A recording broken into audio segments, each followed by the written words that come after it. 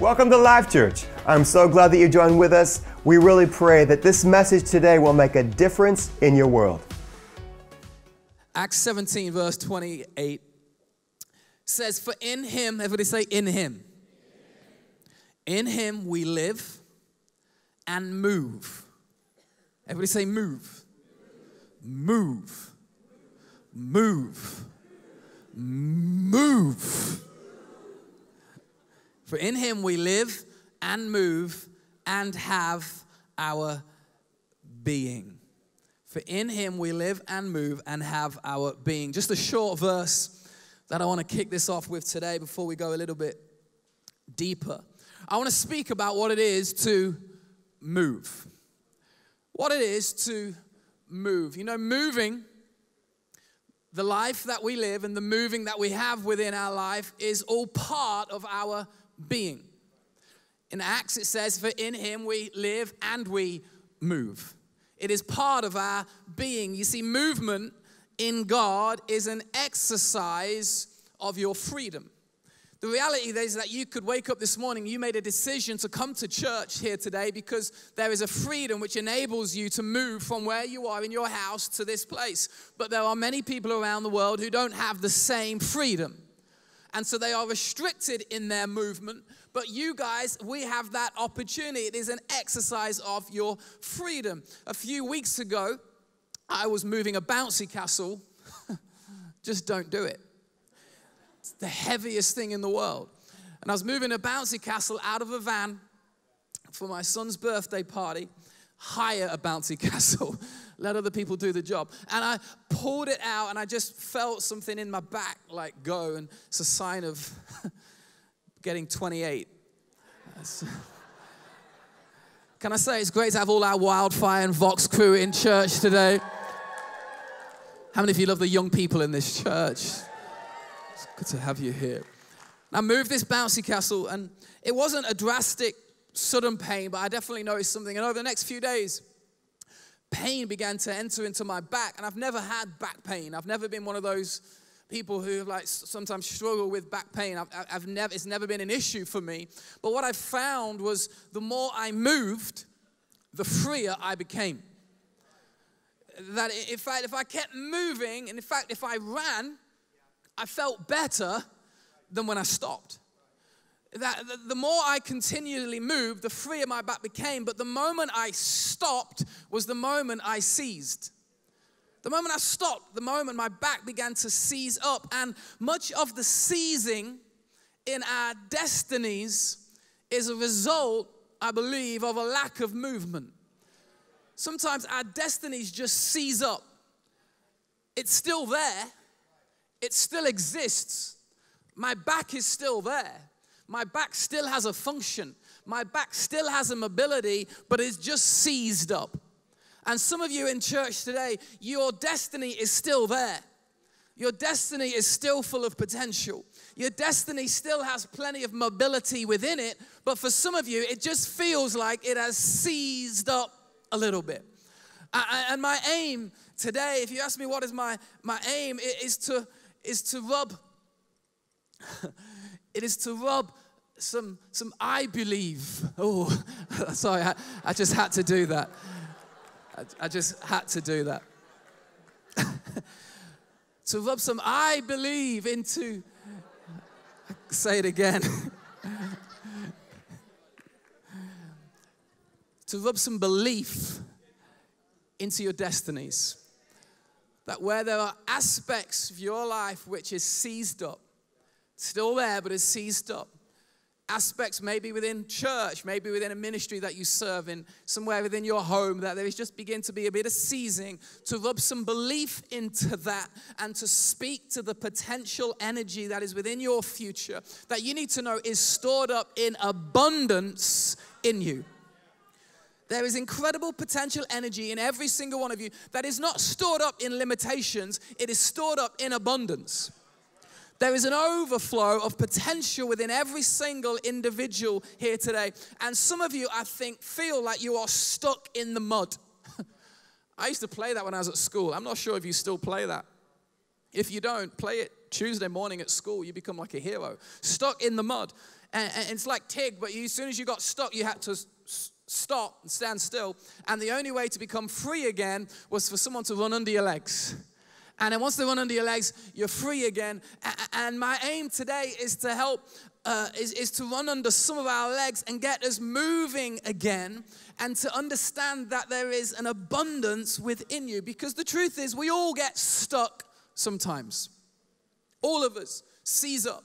All of us get stuck sometimes. I can get stuck in fear and the fear holds me, it grips me, and it keeps me in a certain place. I can get stuck in doubt, where I just live and I'm just stuck in a place of doubt. I can get stuck in poverty, and I just seize up in poverty, and I don't see any movement coming from it, but I've just seized up within poverty. I, I can get stuck in sickness, where I just feel like I'm consistently always stuck in this place of sickness. I can get stuck in the mundaneness of life. I can get stuck in the past. But wherever you are stuck, you need to know it is not God's will for you to stay there.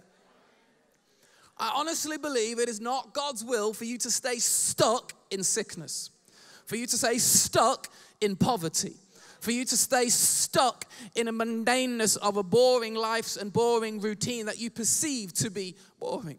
I do not believe it is God's will for you to stay stuck in a past situation or a past circumstance. That is not your destination. Your destination is heaven.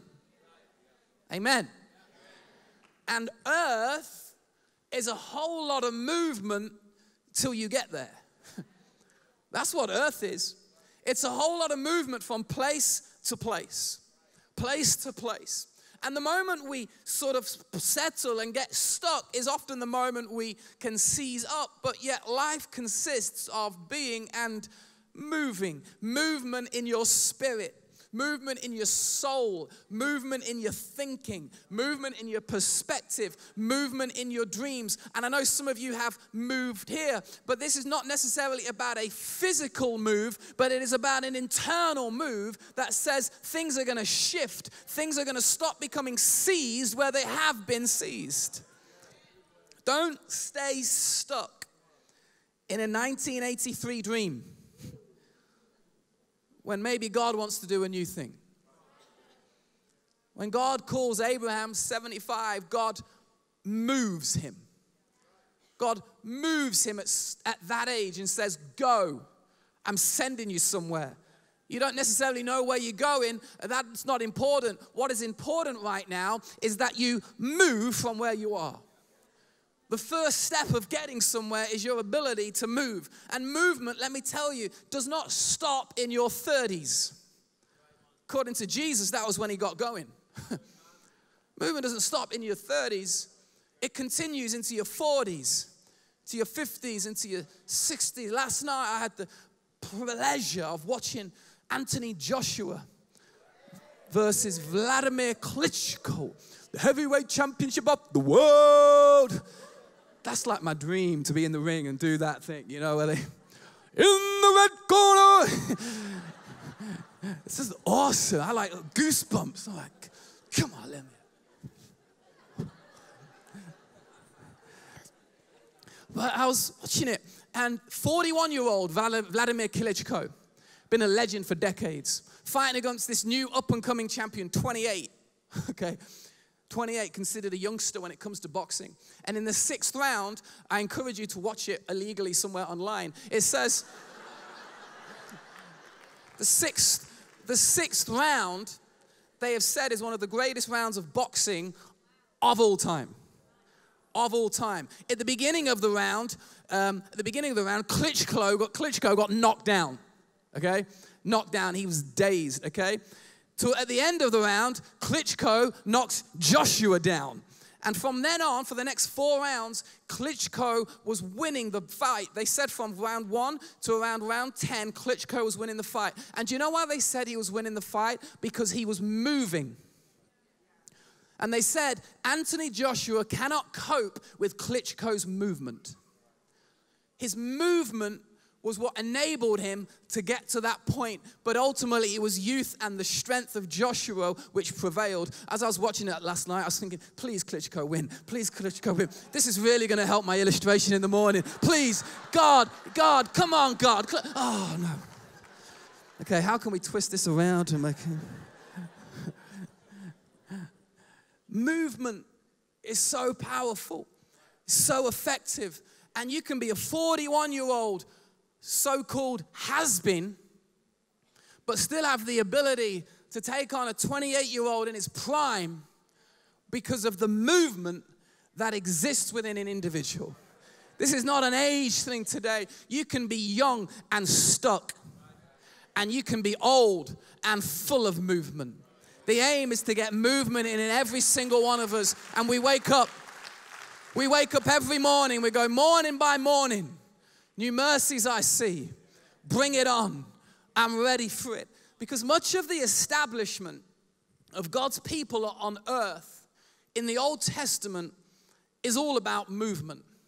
It is about God moving his people from one place to another the more you read through the Old Testament, it's, it's, often just about, it's about the formation of territory. It's about God taking his people in a certain place, in a certain direction, moving them from place to place. God is leading his people from somewhere to somewhere else.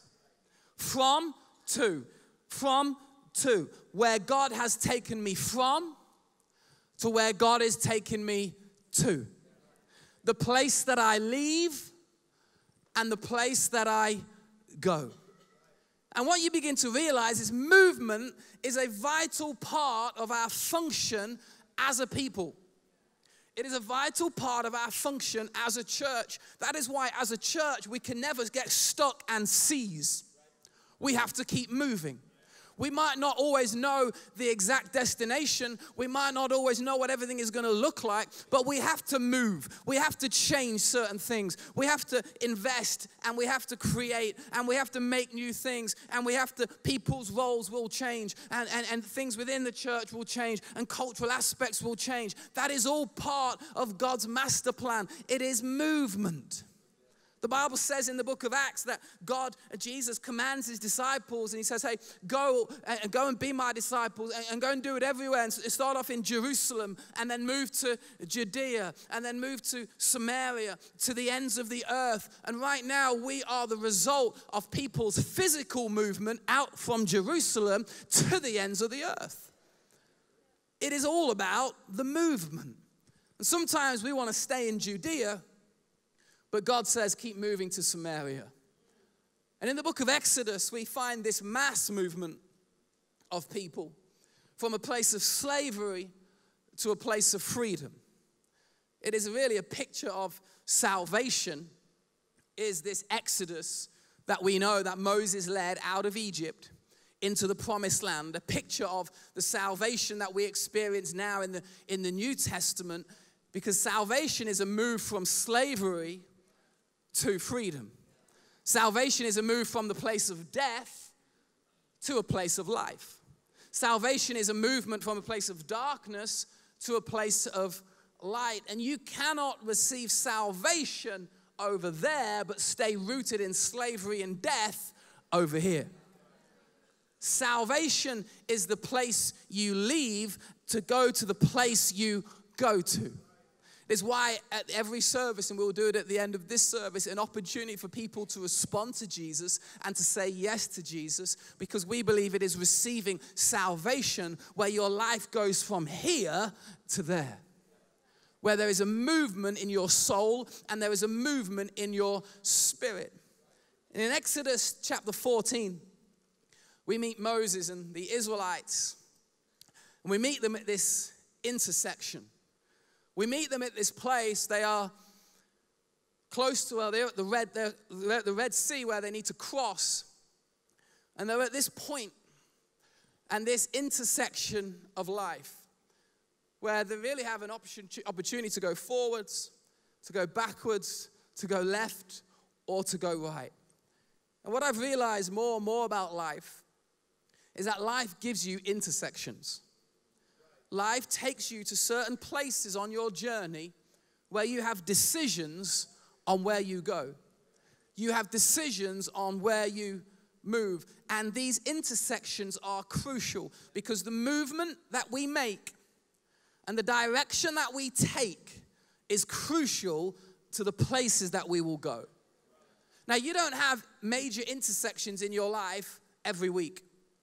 In your life, I would imagine there might be four or five major intersections that you have in your life. Major intersections. Intersections that Moses is facing right here with the Israelites. And what I want to encourage every single one of you, when you come to one of those major intersections, choose well, choose wisely. Go to God. Ask Him, God, what is that your plan? Talk to great people because those intersections are crucial to the places where you go. And in Exodus 14, I'm going to read from verse 5. I'm going to read for the next few verses. It says, When the king of Egypt was told that the people had fled, Pharaoh and his officials changed their minds about them and said, What have we done? Moses has led the Israelites out of Egypt. The plagues have happened, and Pharaoh's got to a point where he says, Go, just go, get out of here. And so now Moses is leading his people, and now Pharaoh is changing his mind, and he's thinking, What have I done? We have let the Israelites go, and we have lost their services. So he had his chariot made ready and took his army with him. He took 600 of the best chariots, along with all the other chariots of Egypt, with officers all with officers over all of them. The Lord hardened the heart of Pharaoh, king of Egypt, so that he pursued the Israelites who were marching out boldly. The Egyptians, all Pharaoh's horses and chariots, horsemen and troops, pursued the Israelites and overtook them as they camped by the sea near Pi Hahiroth, opposite Baal Zephon. As Pharaoh approached the Israelite, the, as Pharaoh approached, the Israelites looked up, and there were the Egyptians marching after them.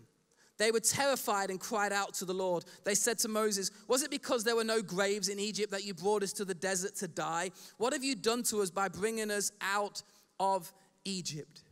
Didn't we say to you in Egypt, Leave us alone? Let us serve the Egyptians. It would have been better for us to serve the Egyptians than to die in the desert. But Moses answered the people and he said, Do not be afraid, stand firm, and you will see the deliverance the Lord will bring you today. The Egyptians you see today will never, you will never see again, for the Lord will fight for you. You need only to be still. And I'm reading that thinking, well, to be still about, I'm, I'm, we're, we're, talking about movement. and you're saying we need to be still. God, I'm a, I'm a little bit confused here, but Moses is in fact teaching the Israelites, his people, not in fact to stand still, not for them just to be no movement within them, but to develop quickly, because Pharaoh's coming, to develop this confidence and this assurance that God has got this. That God has got this. That you will not fail me. That you have got this. In fact, another translation doesn't says be still. Another translation says Moses said, "Hold your peace." Hold your peace. Because what's about to gonna what's about to happen and where we're about to go is going to require you to hold your peace. The message version doesn't put it as politely. The message version says, keep your mouth shut. That's how Eugene H. Peterson, the legend, puts it. Moses turns to the Israelites and says, Keep your mouth shut. We're moving. Keep your mouth shut. We're about to move somewhere. and Moses is saying, What is required of you right now as we are at this intersection? As the Red Sea is in front of us and as Pharaoh is behind us, you've got to delve into your reserves. In verse 15, then the Lord said to Moses, Look at this. When the Lord said to Moses, why are you crying out to me? Tell the Israelites to move on. Look at that. Tell the Israelites to move on. God is saying to Moses, move on. Stop crying out to me now. Move on. We don't need more prayer now, Moses. Move on. We don't need another service right now, Moses. Move on. I know you're great at these inspirational messages and stuff, but we simply need you now to move on. And it struck me when I read this how many times have I looked back at my Pharaoh and God says, move on? How many times have I looked back there and I see Pharaoh coming and God says, move on? Don't allow Pharaoh to catch hold of your promise. Don't allow the Pharaoh, which is back there, to catch hold of the promise of God that is on your life. Because if you do not move, the enemy has a way of catching up with you. If you stay still, if you simply live seized, seized in destiny, seized in how I think, seized in how I live, seized in how I talk. I just stop here. It won't be long before Pharaoh catches up with you. And when Pharaoh catches up with you, he will not be nice. Pharaoh will take you back to the place you once were. But you see, God has delivered you from there, but He is now calling you to what? Move on. To move on. And I felt today, I felt today God wanted to say to some of us, move on. Move on. That there's no need to keep crying out to God. Crying out to God it, it, it is great. Crying out to God is awesome, but sometimes God says, I don't need you to cry out to me anymore. I need you to move on. I, I, I know it's great that you want to do that, but move on. You don't need another prayer line, you need to move on. You don't need another conversation. You need to move on. You know, uh, this hit sort of some personal, practical, small life reality. Bring it down to the basement. A few months ago, when I was looking at uh, changing the mortgage that I've had, which I've had for like five or six years now, and I went to the bank to discuss my new mortgage and uh, just to get a better rate because I was thinking, I've not done it for a long time. Maybe I should just do that. And by the way, do that. okay. So I went to meet with them and they gave me this new rate. And I was like, wow, that's awesome. I'm like, it's like half the price of what I'm paying and yet we'll pay it down quicker. I'm like, hmm. And then, and then she said, um, what you might want to know is if you could have done this five years ago. So basically, what she's saying to me is, I've been overpaying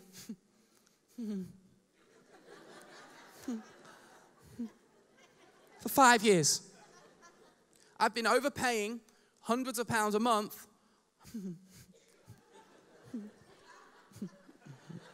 God is a good God. Yes, He is. For five years. Now, at the time, came out. Now, firstly, I, firstly, I was with Abs. And Abs is much quicker to move on than I am. I came out and I was just thumping. And it must have been like days, weeks, where I'm thinking, that's a lot of money. that's a lot of money. And I honestly felt something in my spirit where God just went, Dave, move on. Move on. Number one, be grateful that you have a house to live in in the first place. Number two, be grateful that you're in a place where you can even get a mortgage because there are lots of people who can't even afford a mortgage. And number three, be grateful now that what you've lost, you're now going to repay and you're now going to save every month as a result of the decision you've made. Draw a line, move on. Pharaoh's coming, I'm on my way. And that was such a personal thing. Because otherwise, I don't appreciate my new rate and I live in my old place.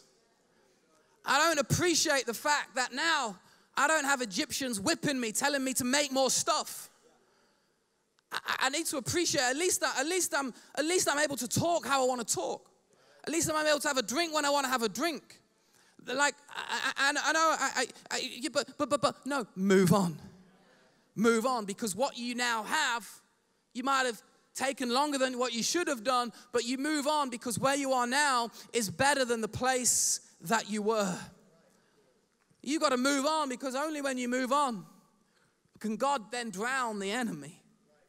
Because God needed Moses and the Israelites to move on. Because as they moved on through the Red Sea and they passed it, Then Pharaoh comes. God is able then to bring the waves in and drown the enemy. You move from one place to another place. God can do the breakthrough, God can part the Red Sea, but He expects you to move through it. God can heal blind Bartimaeus' eyes, but he expects blind Bartimaeus to get up and to go and to move on as a result of his healing. God can, God can forgive. And God can restore the woman who is caught in adultery, but He expects her to go now and leave your life of sin. He expects all of the people that He does breakthrough and miracle and stuff with, He always says, Go, move, get on with your life, go from one place to the next place. Sometimes we want to party in the miracle, but the purpose of the miracle is to move on to what's next.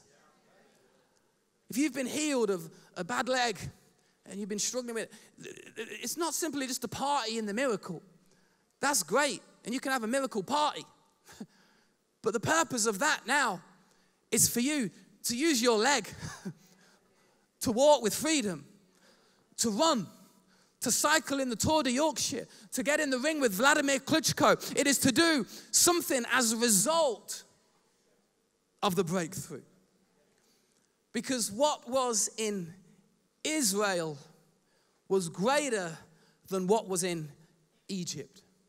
The potential that was there in Israel, but it needed this kinetic energy to receive it. You are stored up with potential energy, but it has to transfer to some form of kinetic energy for you to go. The Bible says, He that is in you is greater than he that is in the world. And God can drive the Pharaoh out of you when you commit to move with him. And this 14 day journey, people, scholars think it should have taken a couple of weeks, maybe a little bit longer with all of their stuff and all of the kids and everyone. How many of you know taking families with you takes a while? But this should have taken a couple of weeks, this journey from Egypt to Canaan. People sometimes argue on that. Let's not argue it for this sake. Should have taken a lot shorter than 40 years. As the Bible says, the Israelites, once they crossed the Red Sea, once Pharaoh was drowned, they now have this simple task, as it would appear, to move from the edge of the Red Sea to Canaan. We can do this. And the Bible says they move from place to place place to place. Life will take you from place to place. It will take you to, from camp to camp. It will take you day after day. And in these camps to Canaan, it represented seasons. Seasons that we all go through, and seasons that we all have to respond to. Because how we respond in a certain season can determine our movement to the next season.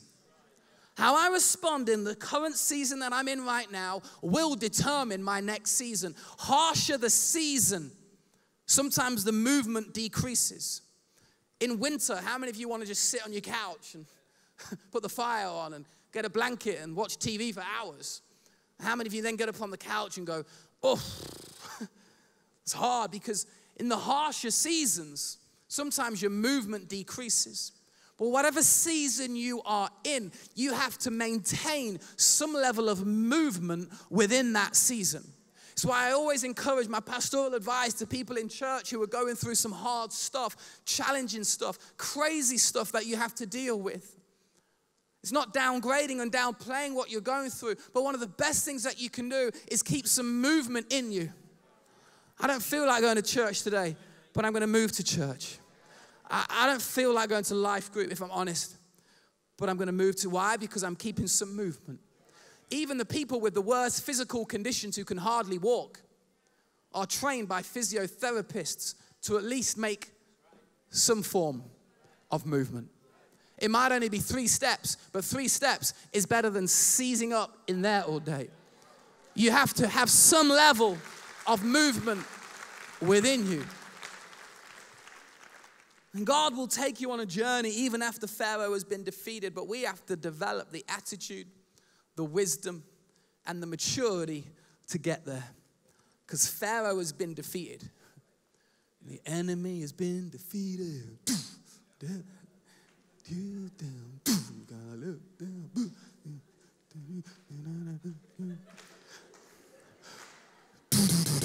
we haven't got time. He's been defeated. He's drowned. You're now free. But it wasn't the devil. The devil didn't stop the Israelites entering Canaan for 40 years. They stopped themselves. The devil can't take credit. Pharaoh's gone. Pharaoh's been defeated. They stopped themselves and they camped in places where God expected movement. Don't park up the car and put the handbrake on when the traffic light is green. the traffic light is green because it is encouraging you, it is commanding you, it is ordering you to keep moving. Cars that slow down when the light is green, I'm like, what are you doing? when the light is green, speed up, don't slow down. And they camp through certain places in the final few minutes. Let me show you some of the places where they camped. They camped, and here I have my beautiful pop up tent.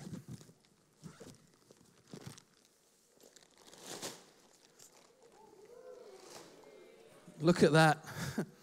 Look at that teeny tiny tent. they camped in places and they set up camp in all of these places. One of the camps that they had in this 40 year journey was this camp of regret, where they just camped in a place of regret.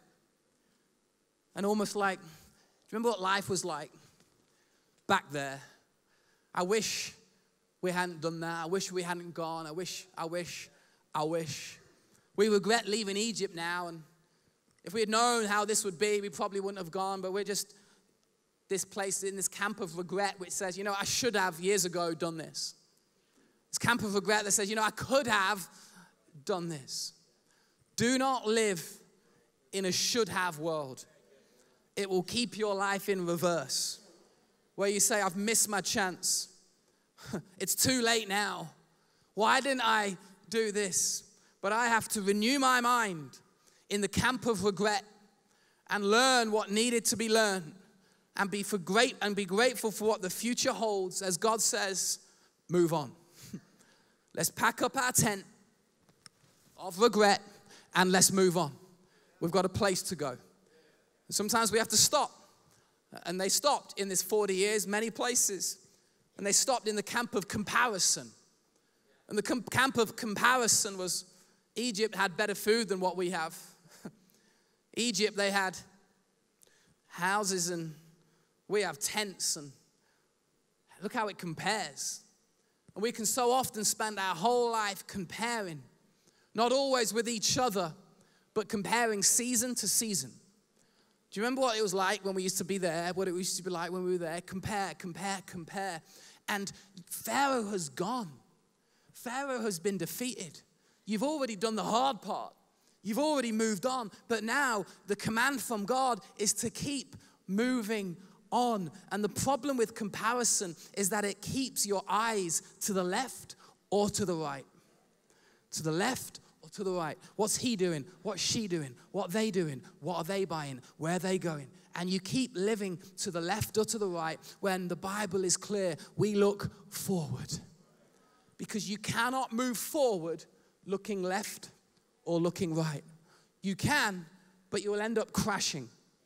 You will end up crashing if you do not move on forward as you look left and right. Young people, please do not set your lives up in camps of comparison, but move on. You then move on to the next place. What's the next place? Is this? we are a little bit nearer to Canaan. We're not there yet, but we're camping again. Should have taken two weeks, but it's 25 years now. We're in the camp of lack. We don't have enough food. We don't have enough provision. We're always short. You know, when I was a university student, for three years I lived in a camp of lack. I expected it. Looking back now, it was a wrong expectation. I had a friend who was at university, at Bible college with me after I finished university, and all the students at Bible college were expected to be poor. Do you know what? He was so wealthy as a Bible college student. He had a job which he did six hours a week and, and, and just was incredible in how he managed it and the gifts that God had given him. And it blew my mind because I just was camping in a season in a place of lack. And God says, You can move on.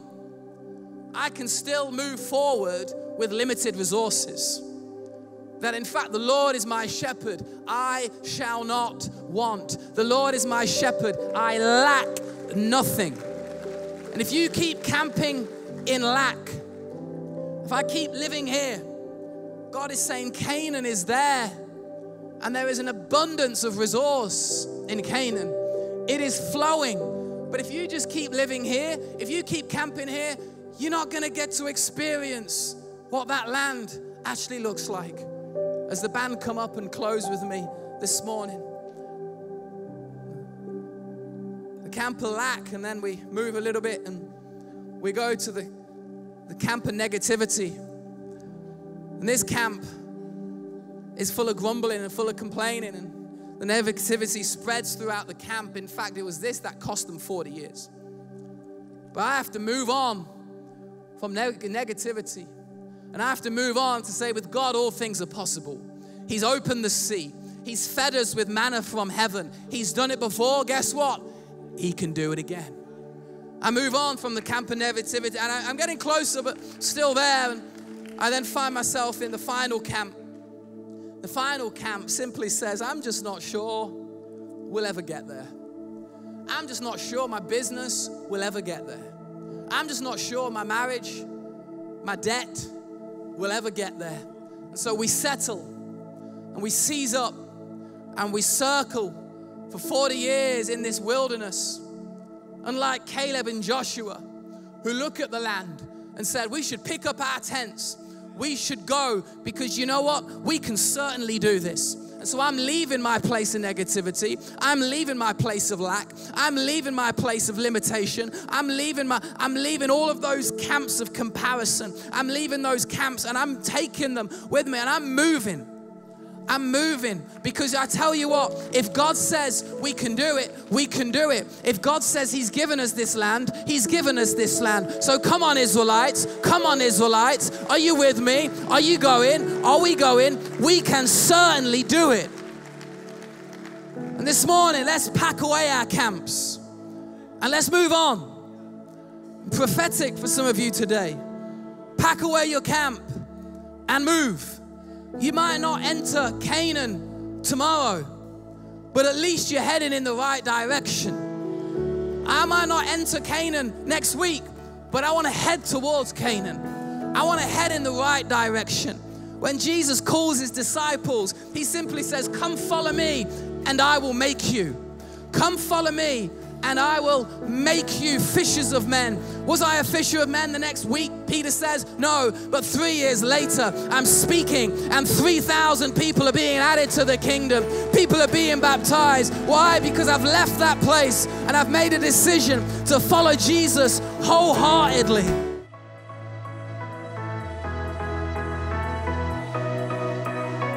Hey, I'm so glad that we had this time together. And now we are praying that you get busy following Jesus, making a difference in your world. And we want to invite you, come visit us in one of our four campuses Bradford, Leeds, Belfast, or Warsaw, Poland, and we would love to see you soon.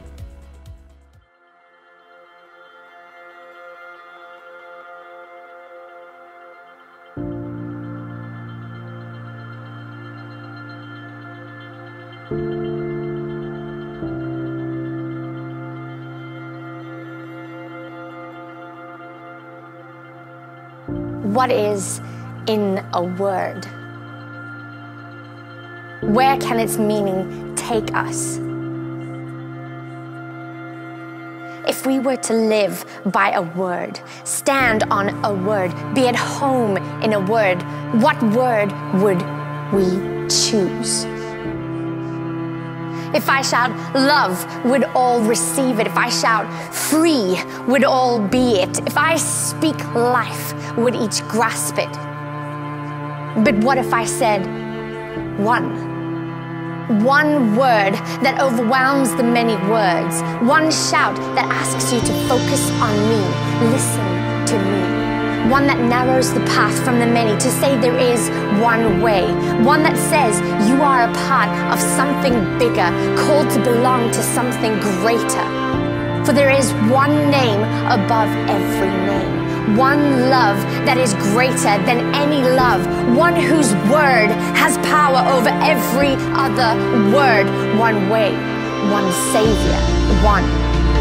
His name is Jesus the one who gave his life for each one, the one who sacrificed it all so all could belong. The power of one calls for one voice, one hope, and one truth. It asks you and I to lay aside what divides. It tells prejudice to die as one who shed his blood, uniting every tribe and every tongue. His one death gave all life, and in doing so created one family called to build one kingdom with one enemy defeated, one army called to march for one cause. So come one and come all to the one who is over it all and through it all. It is time now to move as one, speak as one, and act as one. We who are many are never more powerful than when we are one.